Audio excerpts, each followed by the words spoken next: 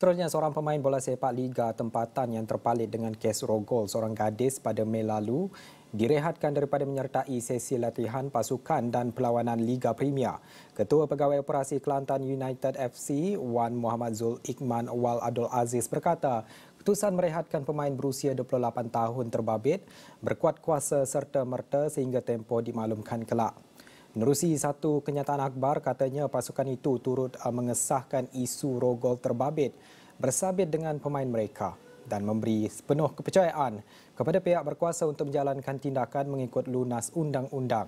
Tegasnya pihak pengurusan pasukan per, uh, berpendirian tidak akan bertolak ansur dengan sebarang pelakuan tidak bermoral oleh mana-mana pihak dalam pasukan. Mengulas lanjut, pihaknya juga akan mengambil tindakan mengikut peruntukan undang-undang dan terma yang dipersetujui dalam kontrak sekiranya pemain tersebut dibuktikan bersalah.